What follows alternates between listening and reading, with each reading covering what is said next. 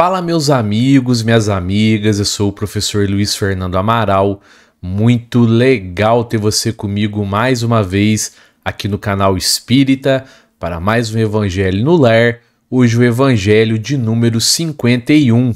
E para o nosso Evangelho, nós estamos utilizando esse livro aqui, o Evangelho segundo o Espiritismo. Se você tiver o livro, você pode usar ele para acompanhar, mas se você não tiver, não tem problema nenhum, você pode acompanhar o Evangelho aqui pelo nosso vídeo.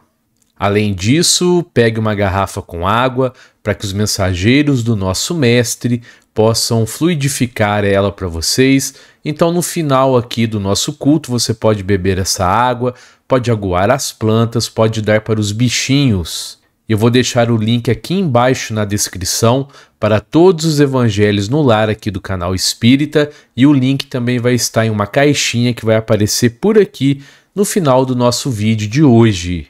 Então vamos dar início ao nosso culto. Sente-se em um lugar calmo, concentre-se na bondade de Deus e sinta a presença dos mensageiros do nosso Mestre aí na sua casa.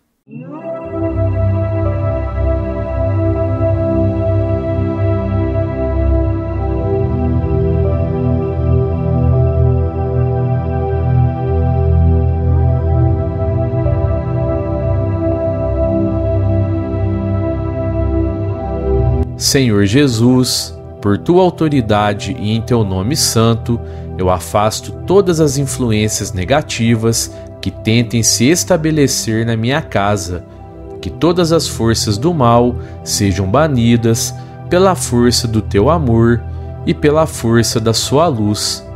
Peço que o seu espírito habite neste lar, trazendo paz, amor, alegria e santidade que tua luz brilhe em cada canto desta casa, purificando-a de toda impureza e renovando-a com a tua presença. Declaro, em seu nome, Senhor Jesus, que esta casa é consagrada a ti e que somente o teu Espírito e de seus mensageiros têm permissão para aqui estar. Que a tua paz, que excede todo entendimento, guarde os nossos corações e as nossas mentes em Deus, nosso Pai e Criador. Senhor Jesus, Mestre da vida, esteja presente neste momento, nesta casa, durante o nosso Evangelho. Esteja presente através de seus mensageiros de luz, nos conduzindo em seu nome ao entendimento necessário, nos inspirando a sermos instrumentos da tua vontade. Que esta casa que recebe neste momento o teu evangelho seja um ponto de luz e de paz a transbordar o teu amor. Que se acha aberta a nossa humilde reunião de amigos e amigas, reencarnados e desencarnados, que é a fim do bem e da caridade. Que assim seja.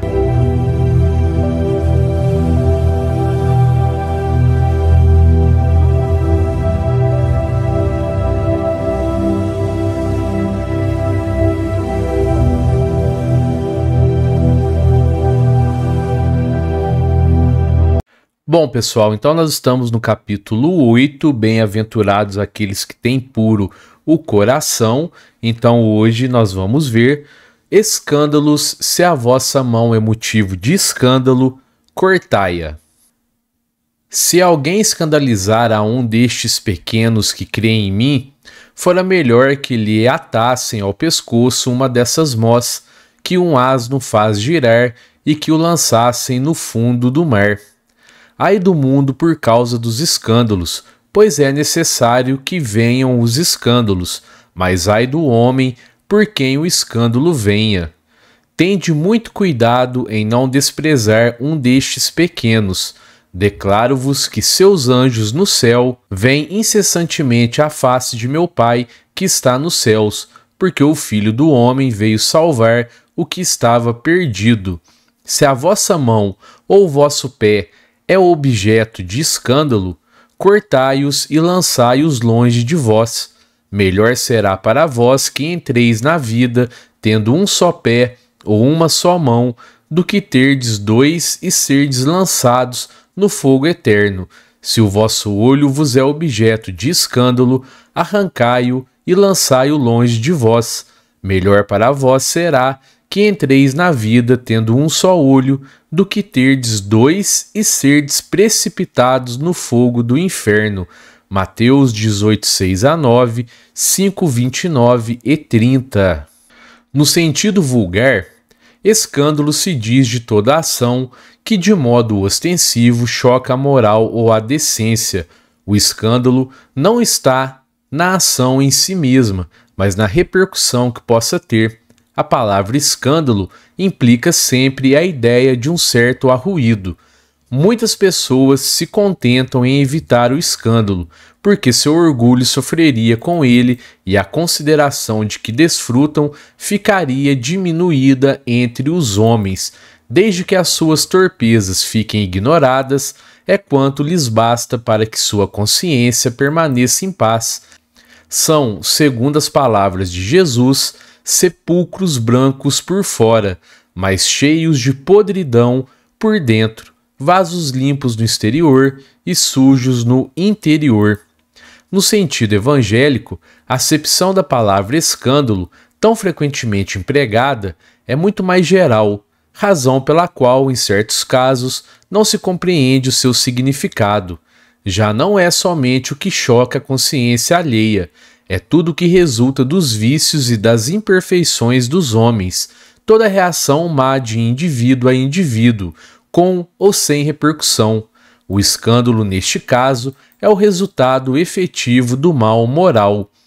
É preciso que haja escândalo no mundo, disse Jesus, porque os homens, em razão de sua imperfeição, se mostram inclinados a praticar o mal, e porque as más árvores dão maus frutos. Deve-se, pois, entender por essas palavras que o mal é uma consequência da imperfeição dos homens, e não que haja para estes obrigação de praticá-lo.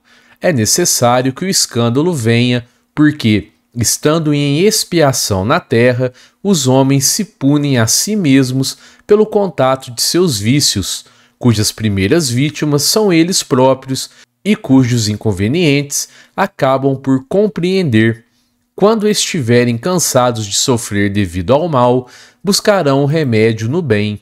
A reação desses vícios serve, pois, ao mesmo tempo, de castigo para uns e de provas para outros. É assim que do mal Deus fez emergir o bem e que os próprios homens utilizam as coisas más ou sem valor. Sendo assim, dirão: o mal é necessário e durará sempre, porque, se desaparecesse, Deus se veria privado de um poderoso meio de corrigir os culpados. Logo, é inútil tentar melhorar os homens, mas se não houvesse mais culpados, já não haveria necessidade de castigos. Suponhamos que a humanidade se transforme e passe a ser constituída por homens de bem. Nenhum pensará em fazer o mal ao seu próximo, e todos serão felizes por serem bons. Tal é o estado dos mundos adiantados, dos quais o mal foi excluído. Tal virá a ser o da terra, quando houver progredido bastante, mas enquanto alguns mundos se adiantam, outros se formam, povoados de espíritos primitivos e que, além disso, servem de habitação, de exílio e de lugar de expiação para os espíritos imperfeitos, rebeldes, obstinados no mal, expulsos de mundos que se tornaram felizes, mas ai, mas ai daquele por quem vem o escândalo. Quer dizer que o mal, sendo sempre o mal, aquele que serviu, sem o saber de instrumento a justiça divina, aquele cujos maus instintos foram utilizados, nem por isso deixou de praticar o mal e de merecer punição. É assim, por exemplo, que um filho ingrato é uma punição ou uma prova para o pai que sofre com isso, porque esse pai talvez tenha sido também um mau filho que fez seu pai sofrer. Passa ele pela pena de talião, mas mesmo essa circunstância não pode servir de desculpa ao filho que, por sua vez, terá de ser castigado em seus próprios filhos ou de outra maneira. Se a vossa mão é causa de escândalo, cortai-a, figura enérgica que seria absurda se tomada ao pé da letra e que apenas significa que cada um deve destruir em si toda causa de escândalo, isto é, de mal, arrancar do coração todo sentimento impuro e todo princípio vicioso. Quer dizer também que, para o homem, mais vale ter cortada uma das mãos do que servir essa mão de instrumento para uma ação má, ficar privado da vista do que lhe servirem os olhos para conceber maus pensamentos. Jesus não disse nenhum absurdo, para quem saiba compreender o sentido alegórico e profundo de suas palavras. Entretanto, muitas coisas não podem ser compreendidas sem a chave que o Espiritismo faculta. Bom, pessoal, então aqui nós vamos falar do escândalo, mas nós sabemos que esse escândalo significa o mal. E o mal, ele surge das nossas más tendências que nós ainda não conseguimos eliminar da nossa vida ao longo das várias e várias reencarnações que nós já tivemos. É por isso, pessoal, que nós vemos no planeta de, de provas e expiações, que é o caso da Terra, o mal prevalecendo ao bem. Sabe por quê? Porque nem sempre nós conseguimos evoluir durante a reencarnação. Nós não regredimos, mas nós ficamos estacionados. Então veja, em reencarnação passada, a pessoa cometeu o mal devido suas más tendências. Essa pessoa desencarnou e agora ela tem a oportunidade de uma nova reencarnação para que ela tente então é, eliminar essas más tendências. Mas acontece que muitas vezes essa pessoa, esse espírito encarnado, ele não consegue eliminar essas más tendências. Então ele cai novamente no erro e acaba fazendo mal. É por isso então que nós vemos o mal prevalecendo no planeta de provas e expiações. Então é importante que a gente entenda isso aqui. O escândalo que a gente entende como mal, ele surge da perversidade do coração do homem, das suas imperfeições, das suas más tendências que ainda não foram eliminadas no curso das reencarnações. E é por isso que a gente sempre fala sobre a importância da reforma íntima, porque através da reforma íntima nós vamos vigiar os nossos pensamentos porque pensamentos se transformam em palavras, palavras em atitudes e as atitudes formam então o nosso caráter. Agora, a Terra sempre vai estar nesse estágio de provas e expiações? Aqui sempre o mal irá prevalecer? Nós sabemos que não, porque nós sabemos bem que os planetas também evoluem. Então a Terra já foi um planeta primitivo, que é o local de espíritos jovens, vamos dizer assim, que estão começando a sua trajetória evolutiva na condição humana.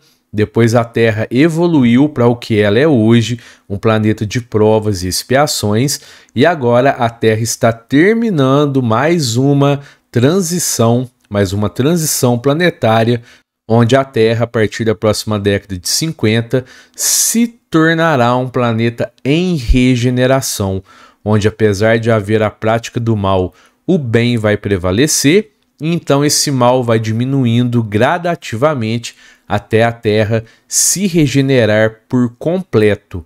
Mas algumas pessoas aqui no canal sempre perguntam como que isso será possível, né, a Terra regenerar se a gente sempre vê o mal acontecendo. O que acontece, pessoal? E foi dito aqui nessa parte de O Evangelho segundo o Espiritismo, no capítulo 8. Existem os planetas primitivos. Esses planetas primitivos, além de abrigar então os espíritos jovens que estão começando a sua trajetória na condição humana, esses planetas servem de exílio. Então, os espíritos, por exemplo, vamos dar o exemplo aqui da Terra. Os espíritos que não condizem com o planeta em regeneração, esses espíritos já não estão reencarnando mais aqui na Terra. Desde a Segunda Guerra Mundial, segundo Chico Xavier, espíritos já estão sendo exilados para planetas inferiores primitivos. No caso, o planeta, um dos planetas que a gente sabe é o planeta Quiron. Então é assim que o planeta evolui. Aqueles espíritos que atrasam a evolução do planeta, aqueles espíritos que são voltados ao mal, então eles são retirados aqui da Terra e vão continuar as suas reencarnações lá nos planetas primitivos. Mas eles poderão voltar à Terra um dia? Claro que sim. Quando eles se depurarem, quando essas más tendências forem eliminadas, então eles poderão voltar a reencarnar aqui na Terra. Isso aconteceu, né? A Terra já foi um local de exílio no caso dos espíritos que reencarnavam em um planeta no sistema de Capela. Então, mais ou menos há 15 mil anos atrás, quando, quando esse planeta também terminou a sua transição planetária e passou a ser um planeta em regeneração, aqueles espíritos que não condiziam então com o planeta em regeneração foram exilados em um planeta inferior, no caso, o nosso planeta Terra. E muitos exilados de Capela ainda estão por aqui. Muitos já voltaram para Capela e já estão reencarnando lá. A questão de Adão e Eva, pessoal, é uma alegoria aos exilados de Capela, mas nós vamos ter vídeo aqui no canal sobre isso. Agora, pessoal, uma outra questão aqui. Quando uma pessoa pratica o mal contra outra, essa pessoa que é vítima desse mal, muitas vezes ela está espiando erros de reencarnações passadas. Só que nem sempre é devido a reencarnações passadas, muitas vezes é uma prova que surgiu agora na vida dela receber esse mal mas muitas vezes é sim uma questão de reencarnações passadas. Aqui mesmo nessa parte do capítulo 8 é dito isso, né? Então, algumas pessoas pensam, quer dizer que a pessoa que fez o mal, ela reencarnou para fazer o mal para que a vítima espiasse erros do passado. Não. Ninguém reencarna para fazer o mal. Ninguém reencarna para cometer o escândalo, vamos dizer assim mas a espiritualidade usa da perversidade do coração do homem, muitas vezes usa para que muitas vezes as expiações aconteçam, para que muitas vezes as pessoas consigam então se redimir de erros de reencarnações passadas. Mas o agressor, aquele que praticou o mal, ele não reencarnou para isso. A perversidade do coração dele então foi usada para que a expiação acontecesse. Agora, quando Jesus então ele diz que nós temos que arrancar a nossa mão, o nosso pé, o nosso olho quando ele for motivo de escândalo, mais uma vez nós precisamos entender. Jesus falava por alegoria, porque as pessoas na época não tinham condições de receber muitos dos ensinamentos dele de uma maneira direta. Então Jesus usava de alegorias. E o espiritismo então ele nos dá a significação então dos ensinamentos de Jesus. Quando Jesus diz isso, ele não quer dizer literalmente que a pessoa tem que cortar um pé, uma mão, arrancar um olho. O que Jesus quer dizer é que nós temos que eliminar das nossas vidas essas más tendências que vão fazer com que a gente pratique o mal, que a gente seja o causador do escândalo. Porque as más tendências nós temos mesmo mas nós precisamos então investir na nossa reforma íntima para que essas más tendências sejam eliminadas. Como? Fazendo aquilo que Jesus ensinou, orando e vigiando, mas não é vigiar o outro, é vigiar a nós mesmos. A oração é a nossa ponte com a espiritualidade, nós sabemos disso. Orando, nós podemos pedir para a espiritualidade nos auxiliar, nos dar força, coragem e ânimo para que a gente vigie a nós mesmos, para que a gente vigie os nossos pensamentos, para que a gente tenha sempre bons pensamentos, para que esses pensamentos se tornem boas palavras, para que essas boas palavras se tornem boas atitudes. Vamos, neste momento, fechar os nossos olhos e emitir uma vibração de luz em prol do nosso lar, da nossa casa, do nosso local de trabalho, dos irmãos presentes nesse estudo, dos nossos parentes e amigos encarnados e desencarnados, da paz em todo o nosso planeta, pela implantação e vivência do Evangelho em todos os lares pelo entendimento fraternal entre todas as religiões, pela cura e melhoria de todos os enfermos do corpo ou da alma, pelo incentivo dos trabalhadores do bem e da verdade.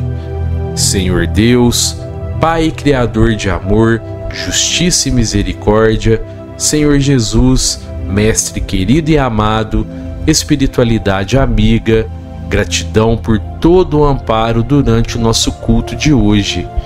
Que se acha encerrada a nossa humilde reunião de amigos e amigas, reencarnados e desencarnados, que foi a fim do bem e da caridade. Que assim seja. E eu queria agradecer a você que ficou comigo até aqui no final desse vídeo. Confere aí se você está inscrito no canal, se você deu um joinha aqui nesse vídeo, tá bom? Um fraterno abraço a todos e que assim seja.